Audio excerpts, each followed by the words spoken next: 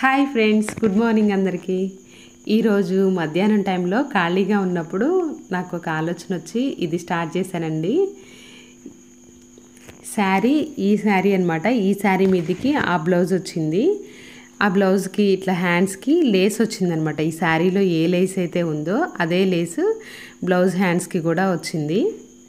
నాకెందుకో ఆ శారీ పెద్దగా నచ్చదనమాట. అది పెట్టుబడికి వచ్చిన చీర. నేనే కుట్టుకున్నాను. కాకపోతే ఇలా లేస్ వేసి కుట్టానమాట నాకు ఇప్పుడు అనిపించింది ఆ లేస్ తీసేస్తే బ్లౌజ్ అంతా గోల్డ్ కలర్ బ్లౌజ్లా ఉంటుంది కదా. నార్మల్గా వేరే శారీస్కి కూడా వాడుకోవచ్చు కదా అన్నట్లుగా ఆ చేతులకున్న ఆ లేస్ తీసేసి నార్మల్గా కుట్లేసాను కుట్లేసిన తర్వాత ఇంట్లో ఉన్న మిర్రర్స్ అలాగే రెండు కలర్స్ ఉన్నాయి. వాటిని అతికించాను అనమాట ప్లెయిన్గా లేకుండా. ఎలా అతికించాననేది ఇప్పుడు వీడియోలో చూపిస్తాను. నార్మల్గా అయితే నేను ఒక ఫోర్ ఫైవ్ ఇయర్స్ బ్యాక్ ఒక పింక్ బ్లౌజ్కి నేను ఇలాగే మిర్రర్స్ అతికిచ్చాను. ఆ బ్లౌజు చాలా మందికి నచ్చుతుందన్నమాట. ఎలా అతికిచ్చావని కూడా చాలామంది అడుగుతూ ఉండేవాళ్ళు. ఆ బ్లౌజ్ అయితే రఫ్ అండ్ టఫ్గా అన్ని శారీస్ మీదకి వాడేశాను అనమాట పింక్ మ్యాచింగ్ అంటే అదే బ్లౌజ్ వేసుకోవాలనిపించేది. అలా వాడేశాను. ఆ బ్లౌజ్ని కూడా నేను ఇక్కడ పిక్ ఒకటి యాడ్ చేస్తాను. దీనికి ఎలా అతికించాననేది ఇక్కడ చూపిస్తున్నానండి. న్యూస్ పేపర్ని ఇలా హ్యాండ్కి మధ్యలో పెట్టేసేయాలి. నెక్కి పెట్టినా హ్యాండ్కి పెట్టినా అలాగే పెట్టుకోవాలి. ఎందుకంటే లోపల వైపు నుంచి గమ్ అతికిపోకుండా ఉంటుందన్నమాట. ఇలా రెండు రకాల మిర్రర్స్ ఉన్నాయి నా దగ్గర. ఒక మీడియం సైజ్ మిర్రర్ని అతికిస్తున్నాను నేను సింగిల్ వరుసగా.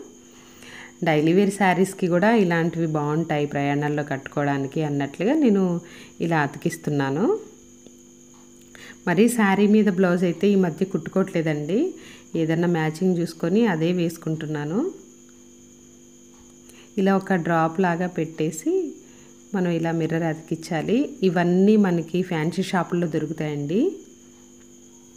బాటిల్ కాస్ట్ వచ్చేసి ట్వంటీ ఫైవ్ రూపీస్ ఉంటుంది. అలాగే ఈ మిర్రర్స్ కూడా మనకి తులాలు లెక్కిస్తారు. తులం ఒక థర్టీ ఫార్టీ రూపీస్ అలా ఉంటుంది. నేను ఎప్పుడో ఒక one year two years back తీసుకున్న మిర్రర్స్ ఇవి. ఇలా ఒక డ్రాప్ లాగా పెట్టేసి చేత్తో కాకుండా ఏదైనా పెన్సిల్ కానీ ఏదైనా షార్ప్గా ఉండే వాటితోటి ఇలా మనం ఈవెన్గా స్లోగా ప్రెస్ చేసామంటే ఈవెన్గా కలర్ అనేది సెట్ అవుతుంది దానికి. ఆల్రెడీ కుట్టిన బ్లౌజ్కి ఈజీగా అతికించుకోవచ్చు అనమాట చూస్తున్నారు కదా ఇలా పెట్టేసుకోవడమే. చాలా సింపుల్ అండి ఎవరైనా పెట్టుకోవచ్చు. అలాగే లుక్ కూడా చాలా బాగుంటుందన్నమాట ఇది పెట్టిన తర్వాత. మన ఛానల్ స్టార్ట్ చేయకముందు టైలరింగ్ వీడియోస్ బ్లౌజ్ డిజైనింగ్ వీడియోసే పెట్టాలని ఇంట్రెస్ట్ ఉండేది నాకు. అప్పుడు కూడా నేను జాబ్ చేస్తూ ఉండేదాన్ని. కాకపోతే ఇంకొకళ్ళ హెల్ప్ చాలా అవసరం అనిపించింది అనమాట టైలరింగ్ వీడియోస్ చేయాలంటే. అందుకనేసి నేను టైలరింగ్ వీడియోస్ ఆపేశాను అనమాట పెట్టకుండా ఉన్నాను. ఫస్ట్ వీడియో మన ఛానల్లో ఏంటంటే ఈ పింక్ కలర్ బ్లౌజ్కి నేను మిర్రర్స్ అతికిచ్చేదే పెట్టానమాట సింపుల్గా ఉంటుంది ఈజీ అంటే స్టార్టింగ్ వీడియో కదా ఈజీ వీడియో పెట్టాలనేసి అది పెట్టాను. అదే బ్లౌజ్ అనమాట నేను ఇప్పుడు మీకు చూపించబోయేది కూడా. అప్పట్లో ఎడిటింగ్ సరిగా రాక చాలా మిస్టేక్ చేశాను. కాకపోతే స్వాతి నాకు ఎలా చేయాలి అనేది చెప్పింది. తను ఇప్పటికీ కాంటాక్ట్లో ఉంటుంది.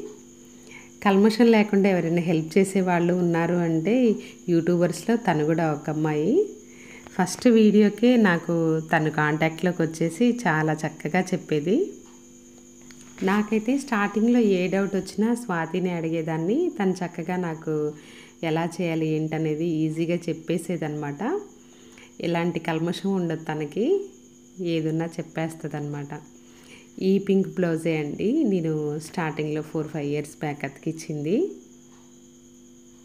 అప్పుడు తెలియక నేను న్యూస్ పేపర్ పెట్టకుండా అతికించాను. అందుకే ముందు పాటకి కూడా అంటుకుంది. నా బ్లౌజెస్ నేనే కుట్టుకుంటానండి. ఇది ఫోర్ ఇయర్స్ బ్యాక్ది కాబట్టి కొంచెం ఇప్పుడు నాకు సెట్ అవ్వట్లేదు ఇది. కాకపోతే బాగుంది కదా అనేసి నేను ఇలాగే పెట్టుంచాను. ఈ బ్లౌజ్ వేసుకుంటే ఇలా ఉంటుందండి. చాలా బాగుంటుంది. చాలా ఇష్టం కూడా నాకు. ఇంకా ఆ బ్లౌజ్కి మిర్రర్స్ అతికిచ్చిన తర్వాత చపాతీకి పిండి కలిపి పెట్టాను. అలాగే చపాతీలోకి ఆలుగడ్డ కర్రీ చేద్దామన్నట్లుగా ఇక్కడ పొటాటోస్ని క్లీన్ చేసి పెట్టుకుంటున్నాను. చపాతీ అంటే ఖచ్చితంగా పప్పు ఉండాల్సిందే. కాకపోతే ఈరోజే ఆలుగడ్డ కూర చేద్దాం అనుకుంటున్నాను.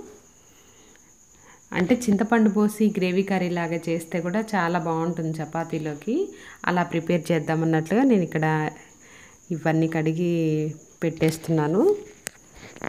మామూలుగా పెళ్ళైన కొత్తలో వేసుకున్న బ్లౌజెస్ కానీ తర్వాత టూ ఇయర్స్ తర్వాత వేసుకున్నవి కానీ అసలు ఏవి సరిపోవట్లేదండి. ఇంకా టూ ఇయర్స్ బ్యాక్ వేసుకున్న బ్లౌజెస్ కూడా ఏ మాత్రం సెట్ అవ్వట్లేదు. అందుకని ఒకరోజు మొత్తం తీసి ముందేసుకొని ఏవి పొట్టిగా అయిపోయాయి ఏవి సెట్ అయ్యాయి అన్నట్లుగా చూశాను. కొన్ని అయితే బాడీకి సరిపోతున్నాయి కానీ హ్యాండ్స్ పొట్టిగా ఉంటున్నాయి. ఆ హ్యాండ్స్ పొట్టిగా ఉన్న వాటన్నిటి కూడా హ్యాండ్స్ తీసేసి ఇంకా దానికి శారీలోకి మ్యాచింగ్ ఉండేలాగా ఏదైనా సెట్ చేద్దామని అన్నీ ఓపెన్ చేసి పెట్టేసి ఉంచాను. దాంట్లోది ఈ బ్లౌజ్ కూడా అనమాట అంటే ఇది లేస్ తీసేసిన తర్వాత గోల్డ్ కలర్లా ఉంది కదా మొత్తం వేరే శారీస్కి కూడా సెట్ అవుతుంది అన్నట్లుగా నేను దీన్ని తీసి పక్కన పెట్టేశాను.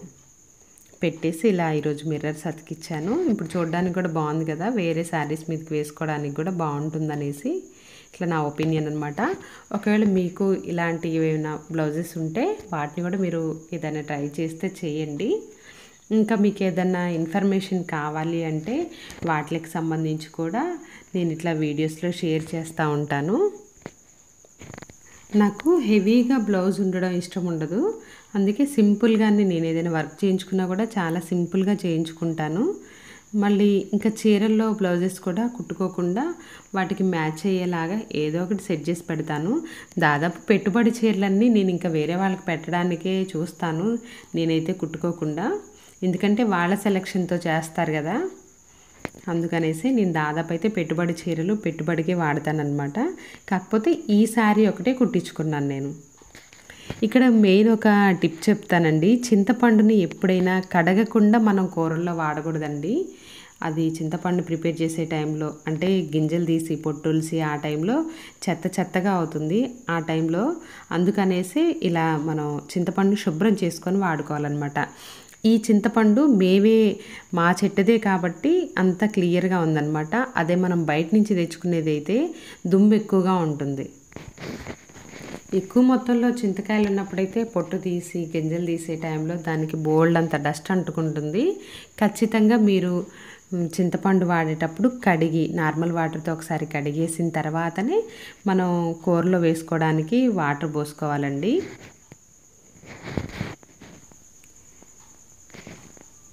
అలాగే ఇక్కడ మనకి కర్రీ కూడా ప్రిపేర్ అయిపోయింది కదా. మనం ఇలా చింతపండు రసం పోసిన తర్వాత ఒక రెండు మూడు నిమిషాల పాటు మీడియం ఫ్లేమ్లో ఉడికించుకున్న తర్వాత స్టవ్ ఆపేస్తే సరిపోతుంది. ఎక్కువసేపు ఉడకాల్సిన అవసరం కూడా లేదు. మూత పెట్టేసుకొని ఒక రెండు మూడు నిమిషాలు ఉడికించుకుంటున్నాను. ఇది ఉడికే వరకు ఇంకా వాటర్ అంతా ఇంకిపోయి తిక్కగా అవుతుంది. లాస్ట్కి కొంచెం ధనియాల పొడి యాడ్ చేస్తున్నాను. ఇలా యాడ్ చేసి దింపేసుకోవడమే. ఇదండి ఈరోజు వీడియో. ఈ వీడియో మీకు నచ్చినట్లయితే ప్లీజ్ సబ్స్క్రైబ్ చేసుకోండి. ఇలాంటి మరెన్నో యూజ్ఫుల్ అండ్ ఇంట్రెస్టింగ్ వీడియోస్ కోసం మన ఛానల్ని సబ్స్క్రైబ్ చేసుకోండి. నాకు వచ్చిన ఈ రీయూజ్ ఐడియా మీకు నచ్చినట్లయితే చిన్న కామెంట్ చేయడం మాత్రం మర్చిపోకండి. Thanks for watching friends